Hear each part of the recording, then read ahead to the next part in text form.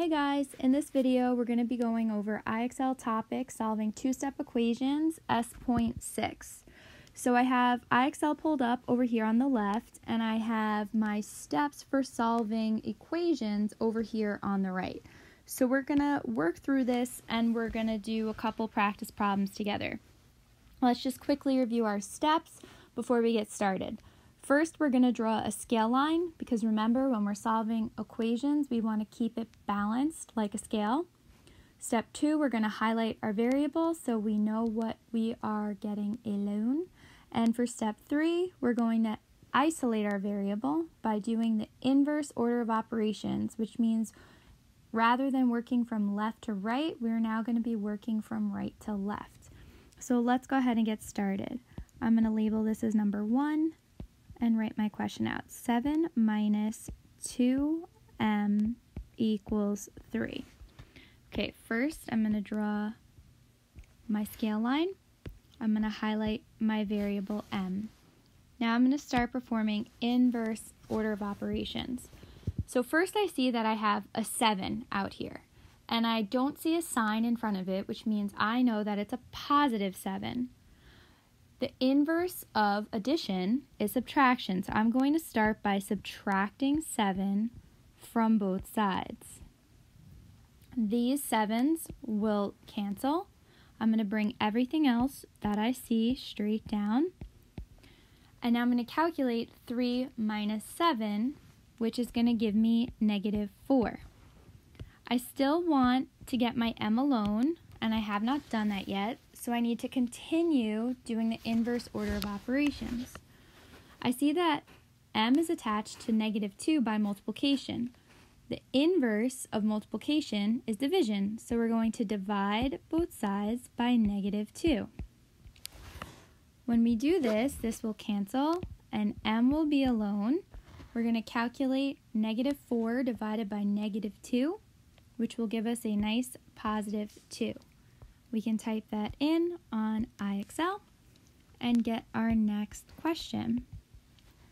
We have 2h plus 2 equals 10. We're going to draw that scale line, highlight that variable. Let's start talking about the inverse order of operations we have to perform. We see that we have a plus 2 we know that the inverse operation of addition is subtraction, so we're going to subtract 2 from both sides. These are going to cancel. We bring everything else we haven't used yet straight down, so 2h comes straight down. Calculate 10 minus 2, which gives us 8. h is still not isolated yet. 2 and h are attached by multiplication. The inverse of multiplication is division. So we're going to divide by 2, divide by 2.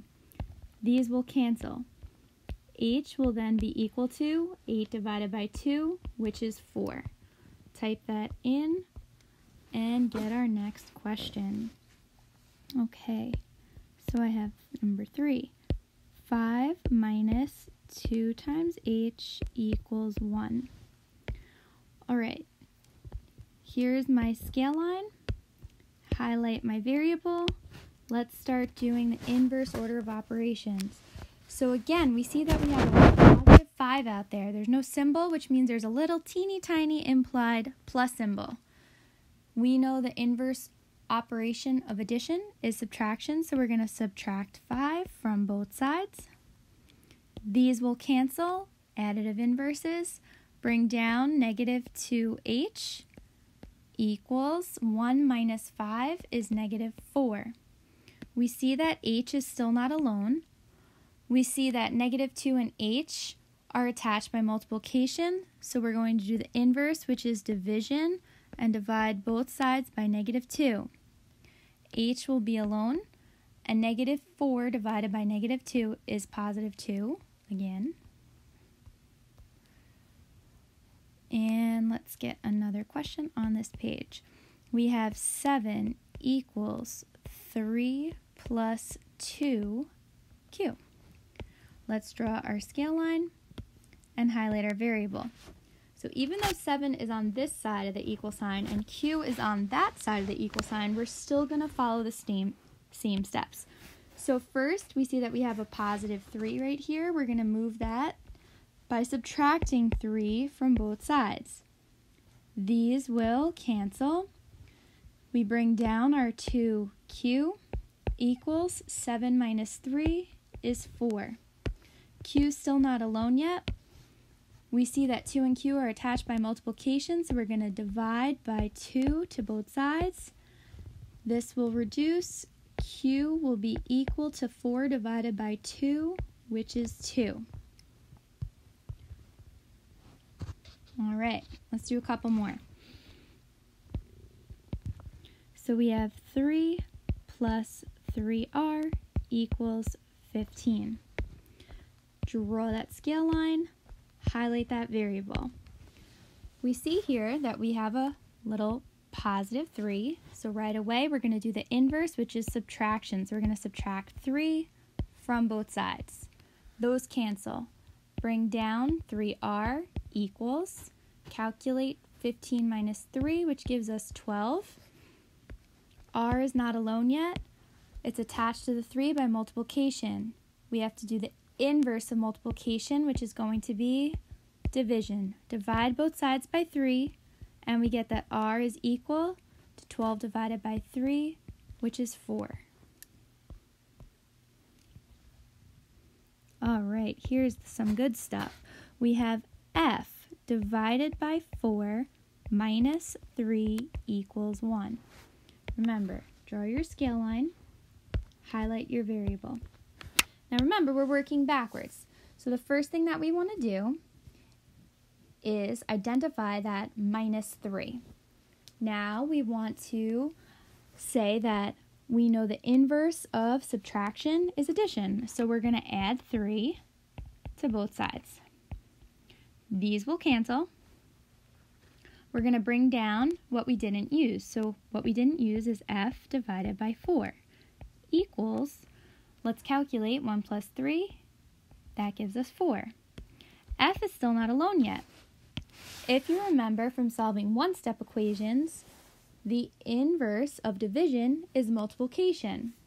So we have to multiply both sides of our equation by 4. When we do this, these 4's will reduce, they'll be gone, so we cross them out, and we'll get f equal to 4 times 4, which is 16. So here, f is equal to 16. Excellent. Let's try another one of these. We have 3 equals u divided by 4 minus 1. We're going to draw our scale line highlight our variable, start working backwards. We see a minus 1, the inverse of subtraction is addition, so we're going to add 1 to both sides. These will cancel. Bring down everything we did not use. u divided by 4 equals, calculate 3 plus 1, that gives us 4. u is still not alone yet, we see that u and 4 are attached by division, so we have to do the inverse, which is multiplication. So again, we're going to multiply both sides by 4, and ironically get the same answer that u is equal to 16. Excellent. Another one just like this. j divided by 4 minus 2 equals 2. Okay, scale line first highlight that J. Start working backwards. We see a minus 2, so right away we know we're going to add 2 to both sides because addition is the inverse of subtraction. Bring down J divided by 4 equals 2 plus 2 is 4. Oh my goodness. And again, we're going to get the same answer. Multiply both sides by 4. Those will be gone, and J is equal to 16 three 16s in a row. Okay, let's try another one. Let's see if we get a different answer this time. D divided by 8 minus 2 equals 1. Draw our scale line, highlight our variable. Let's start working backwards. We have a minus 2, so we're going to add 2 to both sides.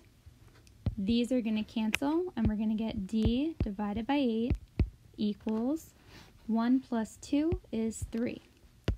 d is still not alone yet. We see that these are attached by division. We have to do the inverse, which is multiplication. So we're going to multiply both sides by 8. This will cancel, and d will finally not be equal to 16, but 24. Okay, let's do one more together before I set you free. And perfect, what a great example to end on. We have a distributive property, so 9 times z minus 88 equals 45. Now, if you remember, what we have to do here is multiply. So we're going to do 9 times z, which is going to give us 9z. And then we're going to do 9 times negative 88, which we are going to do on the calculator on the side. 9 times negative 88 equals negative 792 and bring down our equals 45. We're going to draw our scale line and highlight our variable. We see that we have a minus 792, so we're going to do the inverse, which is adding 792 to both sides. These will cancel, bring down our 9z equals 792 plus 45 gives us 837. z is still not alone yet. We're going to divide by 9, divide by 9, and z is going to be equal to 93. Type that in here. And we're good to go. Wait, wait, look, this is a great question. We can't leave yet. Okay, let's see. Can I zoom this out? Perfect. Let's do this question before you leave me. We have 3 equals t plus 10 divided by 8. We haven't seen one like this before. We're going to draw our scale line. We're going to highlight our variable. Now, what we see here is that the whole piece, t plus 10, is being divided by 8. So the first thing that we have to do is multiply by 8 and multiply by 8. So these are going to be gone, and we're going to bring everything else straight down. So this is going to be 8 times 3, which is 24, equal to t plus 10. t is still not alone. We have a plus 10, so now we're going to subtract 10 from both sides. These will cancel. t is now alone, and it's equal to 14. Great job.